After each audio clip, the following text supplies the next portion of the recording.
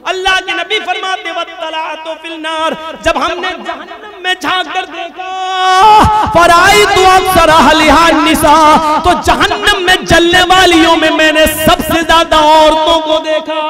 जहन्नम में सबसे ज़्यादा मैंने औरतों की तादाद देखी। जलसों में भी मेला देखने आओगी तो क्या होगा? जलसों में भी हाफ़ आस्तीनों के कपड़े पहनकर आओगी तो क्या होगा? जलसों में भी लिपस्टिक को क्रीम लगाकर और अतर लगा के आओगी तो क्या अलमरा तो बिल मजलिस। इतर तो बहुत बड़ी चीज़ हो गई। खुशबूदार कोई भी चीज़ लगा ले चाहे तेल ही क्यों ना हो।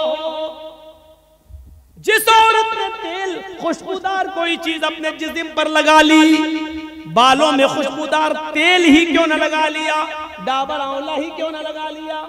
जिससे खुशबू आती है इतना सा तेल सर में खुशबूदार कोई चीज़ लगा ली फमर्रत बिल मजलिस और वो निकल जाए सड़क पर निकल जाए रोड पर निकल जाए मजलिस में लोगों के बैठने की जगह या लोगों के चाय पीने की जगह या मेले ठेले या बाज़ार में जहाँ मर्द बैठे हो, उस रास्ते से निकल जाए। अल्लाह के नबी फरमाते बिल मजलिस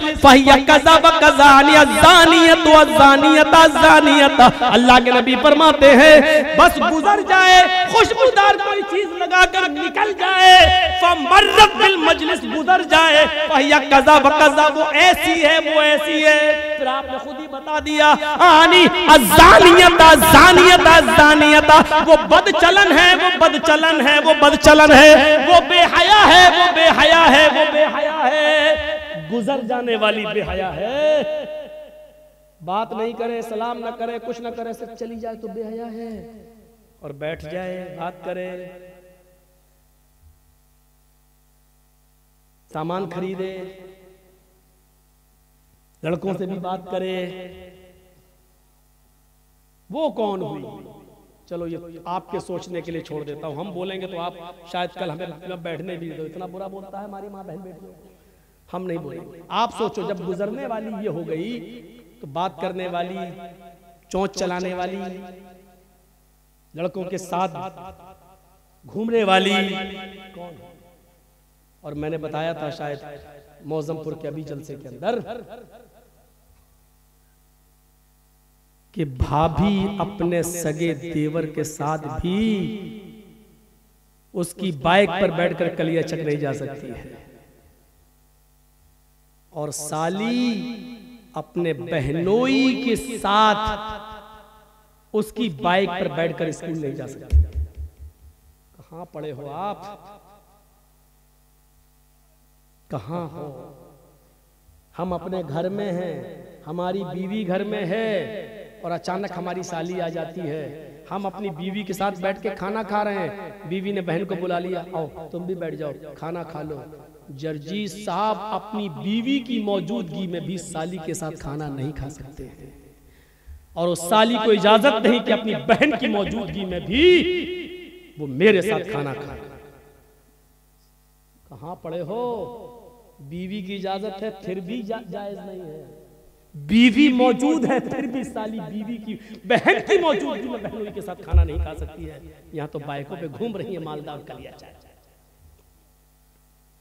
शर्म हमें मगर नहीं आती। साहब हिजाब हिजाब हिजाब अरे ये तो पॉलिटिकल मुद्दा है दस मार्च के बाद सब बंद हो जाएगा। ये पॉलिटिकल मुद्दे नहीं है। ये हमारे इस्लाम का एक हिस्सा है। अय अली, जब मेरा इंतकाल हो जाए तो मुझे दिन के उजाले में दफनाने मत जाना, जुहर के बाद मेरी मिट्टी मत करना। असर बाद मेरी मिट्टी मत करना, मगरिब के बाद मेरी मिट्टी मत करना। ईशा की नमाज़ के बाद जब काफ़ी अंधेरा हो जाए, तब मुझे कब्रस्तान में ले जाना, तब मुझे दफन करना। ये कौन कह रहा है? फातिमा कह रही है। किससे कह रही है? अपने पति से, अली से। आए अली, मैं नहीं चाहती कि मेरे मुर्दा जिस्म पर पड़े हुए, कफन पर भी किसी गैर मर्द की नज़र पड़े। मुर्दा जिस्म पर पड़े हुए कफन पर भी गौर से सुनो, मेरी बहनों गौर से सुनो, मेरी बेटियों गौर से सुनो, मेरी माँ गौर से सुनो, मेरे मरे हुए, मेरे मुर्दा जिस्म पर पड़े हुए कफन पर भी किसी गैर मर्द की नज़र पड़े।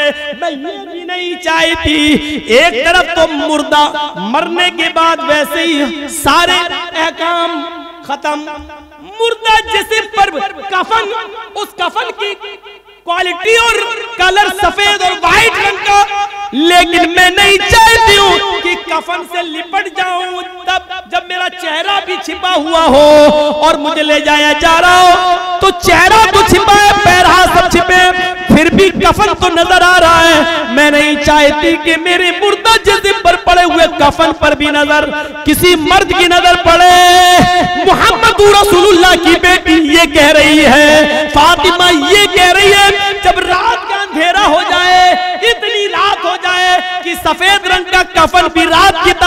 में दिखाई न दे, तब मुझे रात के अंधेरे में कब्रस्तान ले जाना और आप मुझे कब्र के अंदर उतारना। आप सबसे पहले मुझे मिट्टी देना। मेरे प्यारे साथियों, गौर करो तूफ़ान बनाया जा सकता है कि शौहर बीवी को गुसल दे सकती है या नहीं।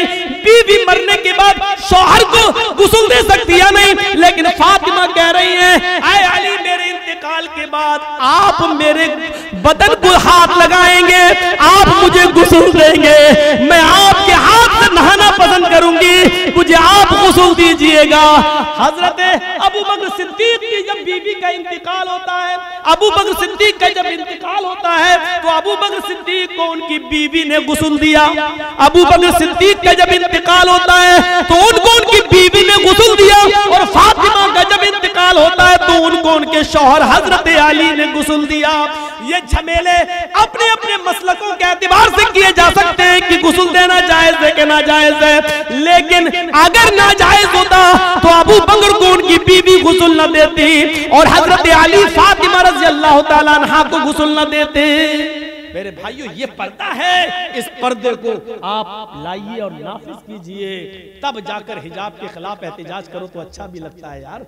अच्छा भी लगता है। हमारी पेटियाँ तो बेपर्दा घूम रही हैं। हम एहतजाज कर रहे हैं और हिजाब के फेवर में बोल रहे हैं, शर्मानी चाहिए शर्मानी चाहिए। ऐसे ही वो छोटे छोटे बच्चे दो साल, तीन साल, पाँच साल के या पैदा होते ही जो मर गए।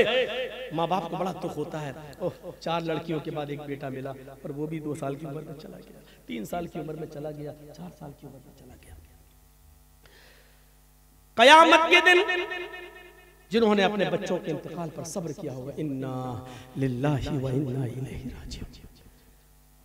और वावेला मचाकर नहीं रोए होंगे, न माँ, न बाप। ऐसे बच्चे कयामत के दिन अपने माँ बाप को जन्नत में ले जाएँगे। लहू जन्ना।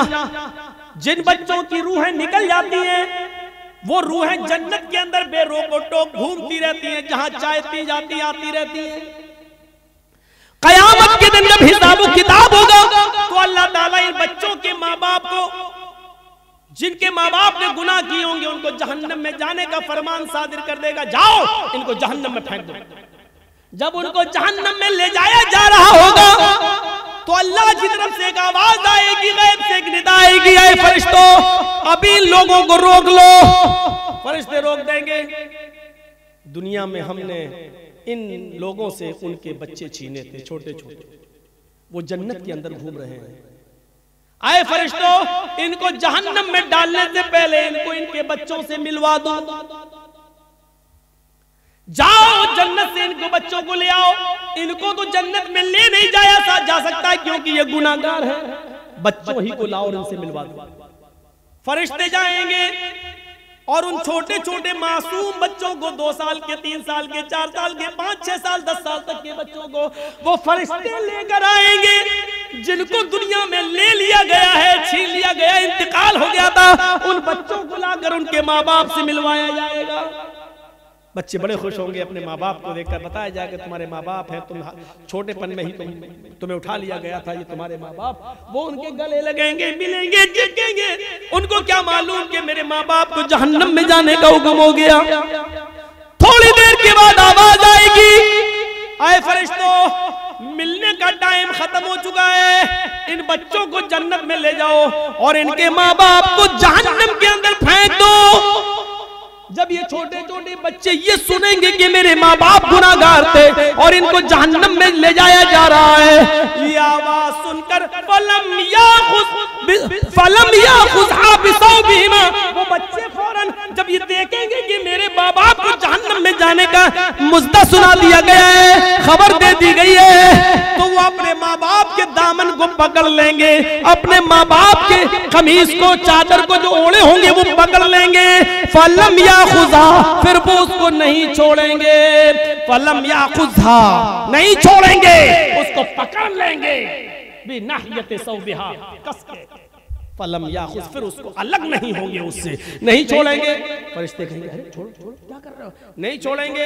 ये बच्चे चीख कर इलामीन ये कैसा न्याय, ये कैसा जजमेंट ये कैसा इंसाफ दुनिया में तूने मुझसे मेरे, मुझे छीना मेरे माँ बाप से, और आखिरत में भी मेरे माँ बाप मुझसे छीन रहा अगर इधर भी छीनना था तो दुनिया में क्यों छीना? दुनिया में भी मुझे मेरे माँ बाप की मोहब्बत न मिली, और आखिरत में भी मुझे मेरे माँ बाप की मोहब्बत नहीं मिल रही है। अल्लाह दुनिया में भी हम अपने माँ बाप से दूर रहे, और आखिरत में भी तू मुझे मेरे माँ बाप से दूर कर रहा है। नहीं अल्लाह में बाप का प्यार न मिला, कम से कम हमारे साथ हमें आखिरत में तो मेरे माँ बाप का प्यार दे दे। और जब तुझे छीनना ही था तो मिलवाया क्यों?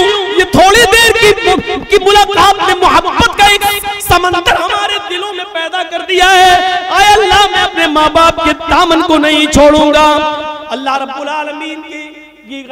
जोश में आएगी, पुकार कर कहेगा फरिश्तों, मैंने इन मासूम बच्चों की आरज़ू पूरी कर दी, मैंने इनकी तमन्ना पूरी कर दी, मैंने इनकी ख्वाहिश पूरी कर दी। जाओ, आए छोटे छोटे बच्चों, अपने माँ बाप की उंगली पकड़ो और उनको जन्नत के अंदर ले जाओ। जाओ, मैंने तुम्हारी वजह से तुम्हारे माँ बाप को माफ़ कर दिया है, इनकी मफरत कर दी है। जाओ, आए बच्चों, इनकी उंगली पकड़ो और तुम खुद अपने माँ बाप को जन्नत में ले जाओ। ये सुनते ही वो बच्चे अपने माँ बाप से चिपक जाएँगे और वो बच्चे अपने माँ बाप को पकड़ कर उनकी उंगली उनको जन्नत के अंदर ले जाएँगे। तो छोटे छोटे बच्चे अपने माँ बाप को जन्नत में ले जाने का ज़रिया है। अगर उनका इंतकाल हो जाए और माँ बाप ने उनके इंतकाल पर सब्र किया हो तो। और चीख भाई अब ये खिलौना कौन अब कौन चलाएगा ये? जो जो रोती है बयान कर करके, उन औरतों को जन्नत नहीं मिलेगी, उस दिन भी। सब्र करने वालियों को जन्नत मिलेगी। मैंने आपका टाइम दो घंटे से ज़्यादा ले लिया है। मेरे भाइयों हम अल्लाह से दुआ करते हैं कि बारे जन्नत में ले जाने वाले जो अमाल हैं वो हमें करने की तोफीक अदा फरमा। हमारे लिए जन्नत में जाने का रास्ता आसान बना दे। बारे जब तक तो हमें ज़िंदा रख इस्लाम पर ज़िंदा रखना और जब हमारा खात्मा होती ईमान पर हमारा खात्मा फरमाना। वमा